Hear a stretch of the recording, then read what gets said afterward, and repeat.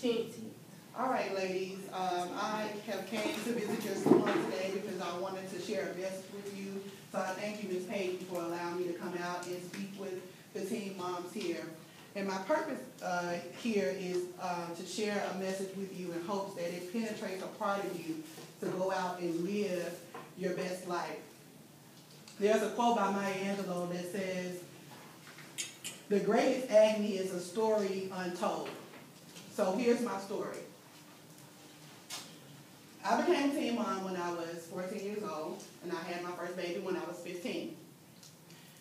I didn't have a clue what I was doing. I was very depressed. I was very lonely.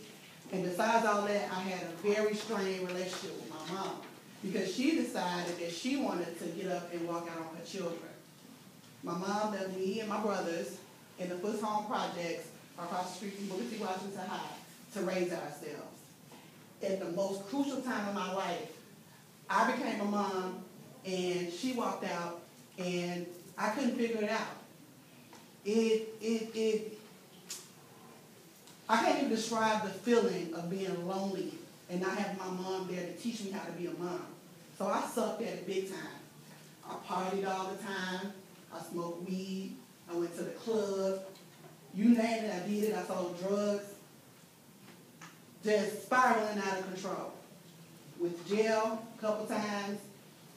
And all because I was struggling in this relationship with my mom. I had convinced myself that I hated her. And of course, guess what all of that hate and that pain and that anger, guess, guess, guess who got all of that? Guess who got all of that, that, that pain and anger? My baby.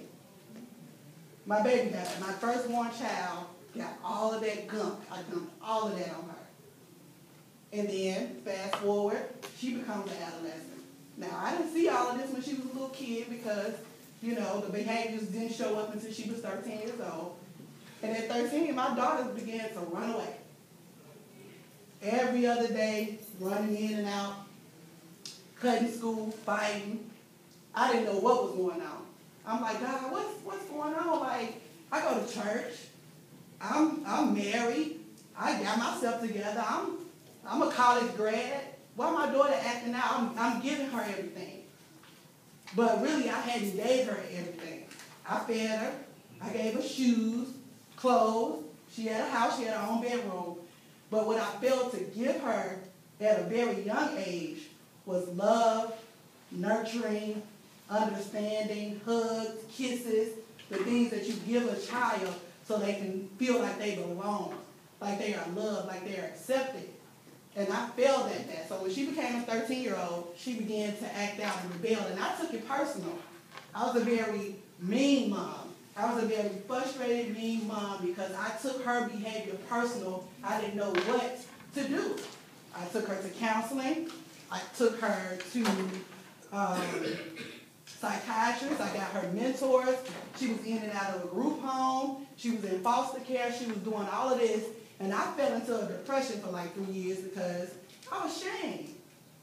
I was ashamed. Here I am doing everything that I possibly could, but my daughter was out of control. So I fell into a depression. And like I said, for a long time she was in and out of our house. And on one particular night, I'm laying in my bed. This will be the last time that she came home. I'm laying in my bed. She comes in. No, she begged me to come home. She was in a group home. She was like, Mama, can I come home? Can I come home? I'm going to get myself together. I, I promise you I'm going to get myself together. I'm like, yeah, Keisha, you can come home. I want you home because I want to believe every time she wanted to come home, every time she wanted to get herself together, I wanted to believe that. So I said, sure, you can come home, baby. Of course you can. She came home that night. It was snowing. I'm, uh, I, I'm from Memphis, but I live in Chicago. So on this particular night, it's snowing outside. I'm talking about completely covered white. I'm laying in my bed. My daughter right here, she comes upstairs. She's like, Mom, my sister gone again. And I would lay there in my bed. I couldn't get up. I can remember feeling very, very heavy, like something was holding me down like some bricks. I, I felt so heavy, and it was God holding me there. He was telling me to let go. He was telling me to let go and let him do what only he could do in my child's life. And I laid there and I cried. I cried, I wept because I begged him, I'm like, God, I, I need to get up and get my baby out. I don't want her to be outside. It's snowing outside. I am I'm scared for her. I, I need to go get my baby. He was like, no. You need to let go. He said, um, you're so busy trying to change her and fix her, but I'm trying to change you. So on that night, my life changed. My focus went from trying to change her into what I wanted her to be. Instead of understanding her and meeting her where she was, it, the focus went back to me. Like I needed to stand in the mirror. I needed to stand there and face all the things that I was struggling with as a parent. Because the state that she was in was because of me. And I had to take that responsibility. So I shared that story with you because when you're dealing with stuff, personal, pain, hurt, unforgiveness, bitterness, anger, resentment, you pass all of that stuff to your kids. You don't see it when they're young. You don't see it when they're young. You okay, sweetheart? oh, okay. You don't see it when they're young, but you pass all of that bitterness and that anger to their kids. And when they grow up, they have behaviors. You got kids having behaviors way before they become 13 or 14 years old. But I want to send a message for you guys to deal with those personal things that frustrate you, that make you angry. If it's anybody in your life you need to forgive, you need to forgive them because it's going to hold your life back. When you, when you caught up in here, you can't go nowhere. You can't do anything that you do that you want to do that's in your heart, your dreams and your goals. When this is hurting, you can't do it because you got to deal with it. You got to deal and you got to heal. So if it's anybody in your life, you need to forgive them, number one. And number two, allow yourself. Teacher's time interruption. I need the following students to report to the office for checkout. Jamario Frost. Also need Jaquarian Craig. And Miss Jones, would you please report to the office? allow yourself to feel all of these emotions because a lot of times we as young ladies we suppress things because we feel like people don't care we feel like people don't understand but people really do understand what you're going through you have people in your corner like this program that Ms. Payton has all these resources at your, your fingertips for you to win for you to win so if you don't have anybody in life for me I didn't have my mom. Me and my mom relationship was very strained. So for a long time, I didn't have nobody that I could talk to, nobody that I could cry, you know, cry to. So my pain went inward, and it was self-inflicted. So I went out in the world and did a whole bunch of stuff because I, my self-esteem was low, and I didn't feel loved.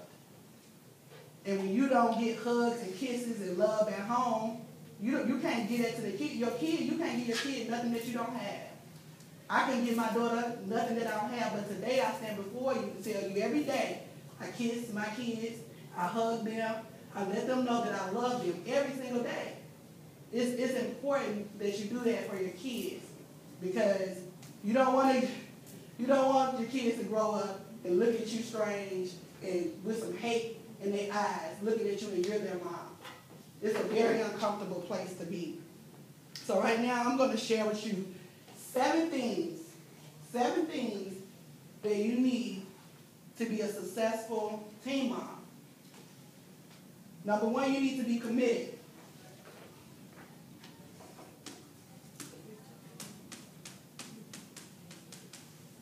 You need to be committed to your journey, committed to your goals, committed to your child, committed to your dreams, who who all have dreams when they when they graduate? What you know what you want to be? Anybody know what they want to be? Kiana. Um, either a nurse. Want to be a nurse? A okay, great. I want to be a program analyst. Awesome. Mo. A social worker. Social worker. That's good. Computer technician. Okay. A chef and a dance choir. Awesome. Awesome. Okay. a nurse. A nurse. Okay. Awesome. well, nurse. You wanna be a nurse? Awesome, awesome. That's great that you guys already know what you wanna do. But you gotta be committed to where you are now. Cause that's the only way you're gonna get there. You gotta be committed to getting good grades, committed to coming to school, committed to staying the course. You gotta walk this thing out. You gotta walk it like you talk it. Mm-hmm. Talk it like you walk. it. You gotta walk this thing out. This is your life. Don't nobody owe you anything. Your mama don't owe you nothing, your dad don't owe you nothing. Then you gotta have hope. Gotta have hope. Hope is just saying that you you wanna you you you're always looking for better and positive. So that, that means that if it's bad today, tomorrow's gonna be better. Tomorrow's gonna come, joy is gonna come in the morning, and trouble don't last always. Every, every time you experience something negative, it's just temporary. It's not the end of your life. You can get over it. You can. You got to work on always hoping that things are going to get better for you because they are. Then you got to acknowledge. I like this one. You got to acknowledge. Uh oh. Uh oh. if that ain't right, don't, don't take no picture. I think a D go in there somewhere. Oh, right. You got your D. You got your D already. Yeah. Oh, okay, okay. fine. Somebody phone. Mm, I got it. That's my fault, I'm sorry. Yeah. Let me turn this off. My apologies.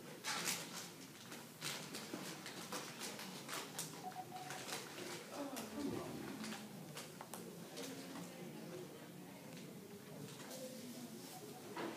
Okay. Somebody at the door.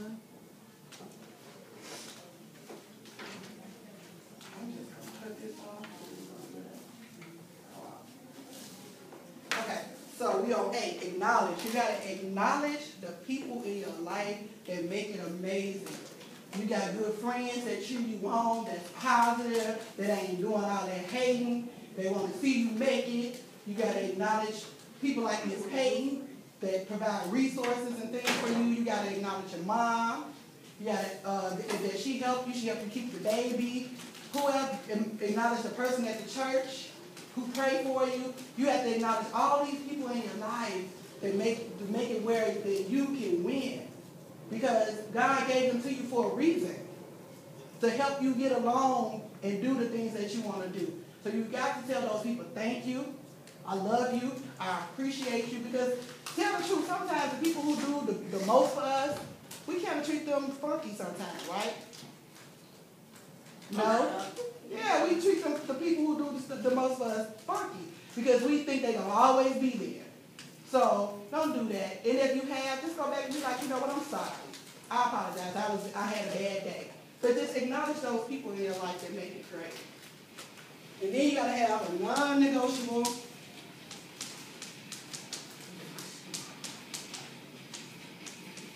Non-negotiable attitude about your life. Non-negotiable means that you solid, you firm on what you want to do. You want to be a nurse. You want to be a nurse. You want to be a computer technician. Be solid about that. Stand firm. Be non-negotiable. People gonna tell you you should do this, this, this, and this. Your friends gonna tell you you should do that, that, that, and that. No. Do whatever it is in your heart. God planted that in you for a reason. So do it. Be non-negotiable. Don't be swayed by people's opinions. Everybody know what everybody else needs to be doing with themselves. So be non-negotiable about your dreams and your goals. Then you gotta be determined.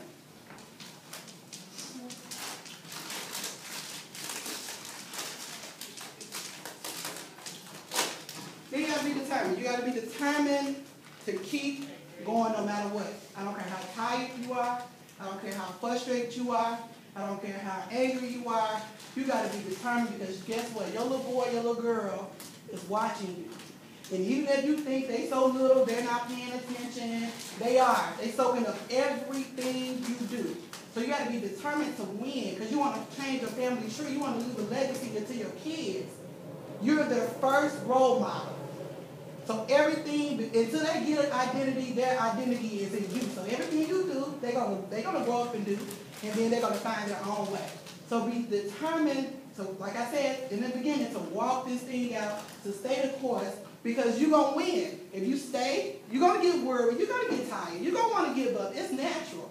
It's natural, but you can't give up because you got little ones that are watching you. And then, I like this one.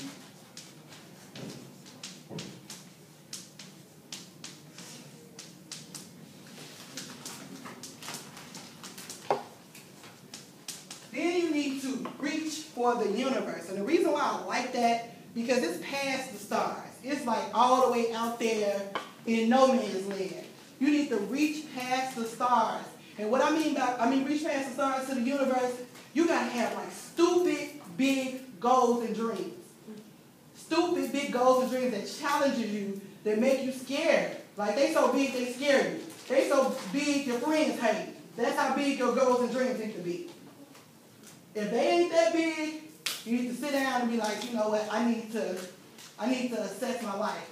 They need to be stupid big because those big dreams and goals are going to challenge you to rise to the occasion. So reach to the universe. God wants to give you anything you desire in your heart. But I, I go back to the heart because Teachers parking interruption. At the sound of the bell, students from the cafeteria will dismiss and report to fourth period. Students, you have five minutes. Please be on time. okay. Like I said, Also, I need Nadia Hall to report to the office for checkout. like I said, that heart, if you got something in your heart that you need to deal with, it's going to block you from reaching for the universe. Nothing, you can't do anything unless this is clear. Your mind is clear and your heart is clear. And then the last one,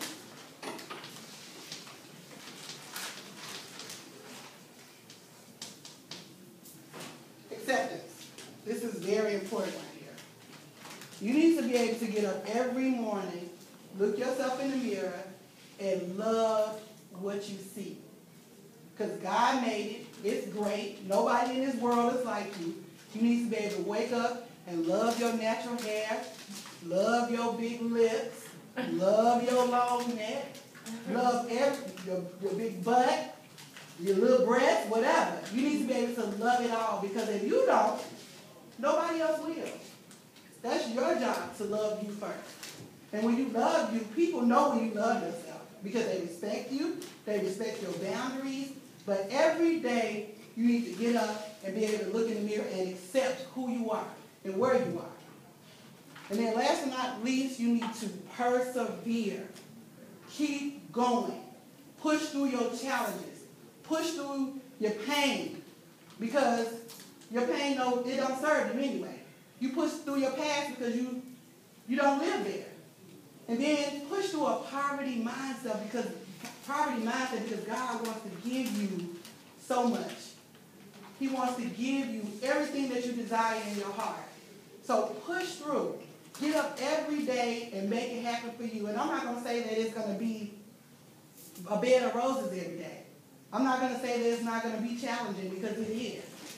I was 27 years old when I got my life together. I'm 40 years old right now. So that wasn't that long ago. 13 years ago, 14 years ago, I decided that I needed to get my life in order. So it takes some of us a little bit longer than others. But I just wanted to come and encourage you on today. You're doing an amazing job with your children. You're going to be great moms because you already know what you want to do. Just stay focused, stay focused, and deal with this. If there's anything in your heart, deal with that. Deal with that because it controls your life. It, it really, really control your life. So I'm going to give you a copy of my book called Millionaire Moms. In this book, it's about 10, 10 authors. I wrote this book with 10 other ladies. And it's about 10 teen moms who just talk about their story, like I shared with you today. Talk about their story and how they overcame that story. And there's different stories in there. My story was, hey, I didn't have a relationship with my mom. It was very strained. I thought I hated her. My baby, you know, I told you my story about my daughter, and my daughter was molested. That was another thing. So I talk about all of that in this book. And then there's some other stories, you know, some of you ladies can identify with. And I love the book so much because people want to put us in a box. People want to already predict our lives. because we have babies early. They want to say all kinds of things. We ain't gonna be nothing. We gonna, you know, be at home making babies. I beg to differ. You know, it's not the end of the world. You could be a nurse. You could be anything you want to be. You just gotta stay positive, stay around positive people, and deal with your issues. And you know, counseling. I'm, I'm gonna say something about counseling. If you think you need counseling, reach out. If you don't have nobody that you can talk to about your issues, reach out. Raise your hand, wave your flag, because there's nothing like going through this life by yourself and feeling like you don't have nobody to talk to. But like I said, I'm gonna give you this book. Read the stories in it. I want your feedback. And I'm gonna give you my number. You can text it to me if you want to. You can text me your feedback. You can email me. Go on Facebook. I'll um, tell you my Students, you have 30 seconds remaining to get to your destination. You can go on my Facebook page um, and leave your comments. I want your feedback. Let me know, you know, what stuck out stuck stuck out to you in the book. If it inspired you in any way, let me know that. Uh, it has been an honor, and I don't want to cry baby out. It has been an honor to stand before you. You're beautiful, and I love you. I don't even know you, but I love you. Keep your head up, stay positive, stay around positive people, and deal with your heart. My name is Chandra Nicole. That's it. And if you have Anybody any, have any questions from Yeah, Ms. if you have any Chandra? questions. How actually she obtained anything? Cause, you know, any questions for her? What, when you decided to get your life together, you still in Memphis or you had left at the time? Um, I was still in Memphis. I was getting ready to leave. So the whole getting my life together was leaving here because I got married. I, my, I married my husband and we moved to Chicago. And I had just had enough. I was still struggling with my mom. Um, we didn't have a real good relationship. That, that controlled my life the longest. Nadia Ho, please report to the office for checkout. Okay, that controlled my life the longest, the, the whole relationship with my mom. Because, I mean, if you got a good relationship with your mom, rock it out. You know, if your mom is good to you, she by your side, she helps you with your baby, don't give her so much grief. Just, you know, and if you having a bad day, just tell your mama you have a bad day. There's nothing like having a mom on your team, like this team you and this team your baby. Because ain't nobody out here gonna treat you like your mama. Ain't nobody gonna take care of your baby like your mama. But I didn't have that. My mom, you know, had her own life and she moved out with her boyfriend and it really, I just, I had low self-esteem. I didn't feel loved. I, I struggled for a long time, played into adulthood because I suppressed it. I didn't want to deal with it. And when you don't deal with stuff, it still it still is gonna come out in behavior and drugs and whatever you choose to do to numb the pain. That's what you do when you go out and do drugs. When you go out and be promiscuous and sleep around with this guy and that guy, you're numbing something. Because your true nature is a queen nature. You you really want to be kept. You really want to be with one guy. You really want that one guy to love you. But if you dealing with some stuff in your heart, then you may put yourself in positions where it's not good for you. So, yeah, I struggled clean until I was 25, 27 years old. Help y'all out with some questions. Yeah, come on. Were you able to go back to school? Did you go to college after? Absolutely. Okay. Okay, so I before I left Memphis, when I was 25, I went back to school. I didn't I, I didn't go because another student asked me this uh, yesterday. I didn't go straight to college after school because I had a baby and I didn't want to leave my baby. So all my friends went off to college and I had to wait because I didn't want to leave my baby. Um, I went back to school to become a nurse, so I am a nurse. Um, before I left Memphis, and then I went uh, to I moved to Chicago, and then I went back to school to get a psychology degree. And right now, I'm in the ma- I'm in my master's program. I'm I'm studying to be a marriage and family counselor to provide services to young moms and their mothers to help them connect and have better relationships.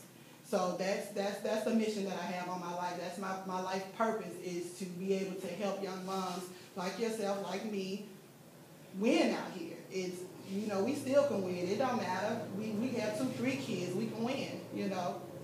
That's, that's, that's it. You got another question? Um, I'm really kind of there because I want you all to see that, you know, and the reason why I had Miss Chandra come today because she is a teen mom, and I know that we had teen moms, and I always encourage some of the teen parents that I work with to never give up. Mm-hmm. Just because you had babies young, like she said, does not mean your life is over. And I wanted someone to come and just speak to you on that level so you can see that she became, you know, she's a writer. She's doing other things. She's going to school to get her multiple degrees. And all, you know, just because you have a baby young, don't let people count you out. So that's the main reason why I wanted you all to come and just speak to her. And maybe if you had questions, if you feel like you're struggling with something, or if you feel like you can't make it, or if you feel like it's a damn downfall, I just wanted you to be able to ask somebody that did make it, who's from Memphis, just like you. So we can't say her story different, her struggle different. No, she came from Memphis just like you. So I just wanted you all to be inspired by that and just to be motivated that you can still be great, that you can still go do something. And just because you're a mom does not end your life. So, you know, I really appreciate Ms. Corner coming all the way from Chicago. She's speaking to not only us, but others here. So I appreciate y'all for, you know, just participating and coming and getting this. And I hope that it motivated you. Go ahead, Kim, uh, Arnisha, I'm sorry. As far as like you becoming a better person, I, I know you were saying a lot about like forgiving and go. So do you still still speak with your mom? Oh man, my mom like this.